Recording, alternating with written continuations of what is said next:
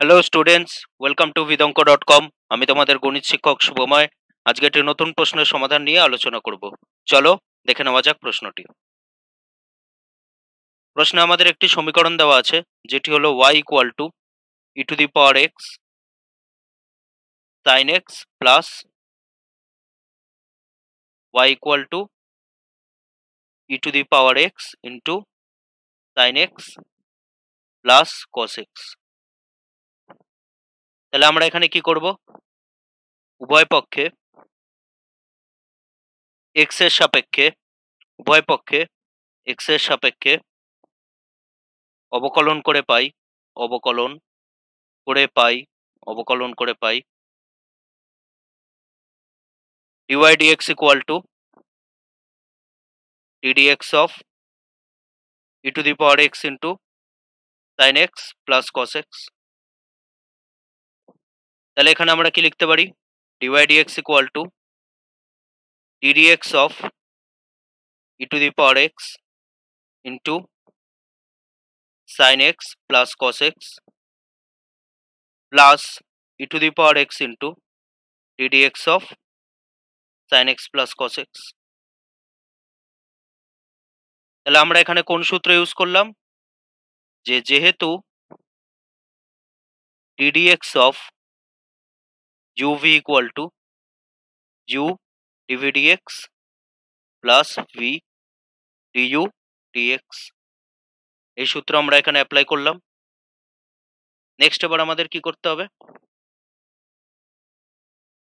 dy dx equal to e to the power x এর derivative কি হয় e to the power x into sin x plus cos x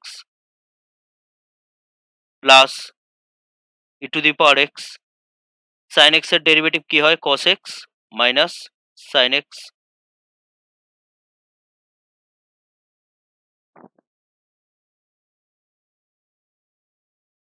তাহলে dy dx আমাদের কি আসছে? E to the power x into sine x plus cos x plus cos x minus sine x তাহলে এখানে sine x sine x কেটে গেলে আমরা finally কি পাচ্ছি? D y d x equal to two e to the power x cos x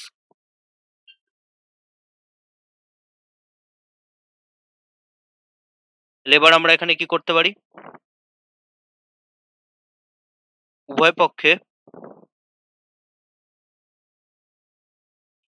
এক্সের সাপেক্ষে, উভয় পক্ষে এক্সের সাপেক্ষে অবকলন করে পাই উভয় পক্ষে এক্সের সাপেক্ষে অবকলন করে পাই।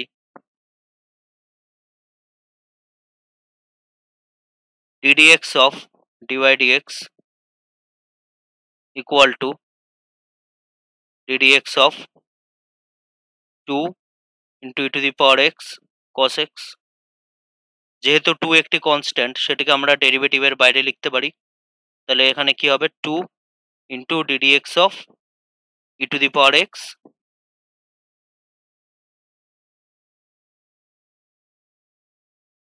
e to the power x cos x তাহলে এবার আমরা এখানে কি করব?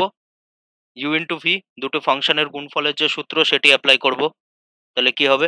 D d d two by d x two equal to two into e to the power x ddx of e to the power x into cos x plus e to the power x into ddx of cos x তাহলে আমরা এখানে কোন সূত্র use করলাম যেহেতু ddx of uv equal to u dv dx plus v du dx তাহলে আমরা এখানে যদি ক্যালকুলেট করি, কি পাবো?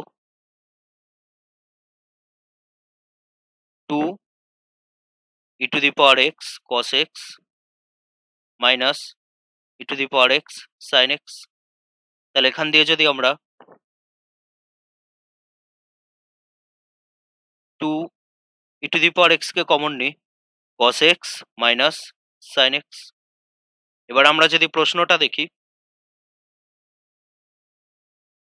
এবার যদি আমরা প্রশ্নটা দেখি, আমাদেরকে প্রমাণ করতে দেওয়া হয়েছে d two by d x two minus two d by d x plus two y equal to zero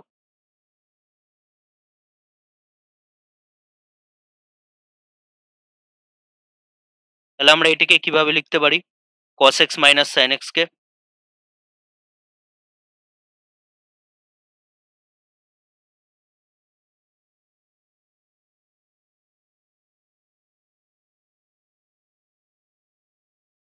আমরা এখানে cos x minus sin x কে কিভাবে লিখতে পারি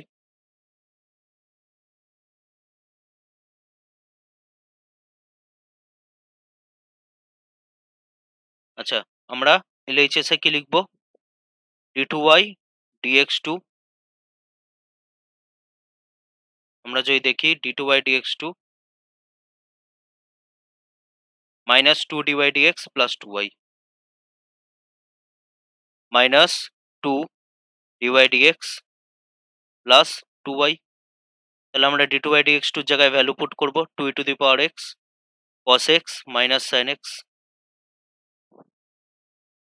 minus two into two e to the power x cos x plus two e to the power x কি আছে? Y এর মান sine x plus cos x sine x plus cos x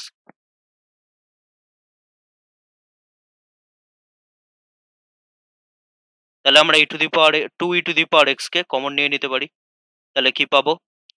cos x minus sine x minus two cos x plus sine x plus cos x তাহলে এখানে x, cos x এর সাথে minus two cos x কেটে যাবে। Plus sine x minus sine x কেটে যাচ্ছে। তাহলে আমরা এখানে কি পাচ্ছি? তাহলে আমরা এখানে কি পাচ্ছি? জিরো যেটি আমাদের আর এইচ তাহলে আমরা এখান দিয়ে কি বলতে পারি? এলএইচএস ইকুয়াল টু আর সুতরাং এটি হলো আমাদের অ্যান্সার থ্যাংক ইউ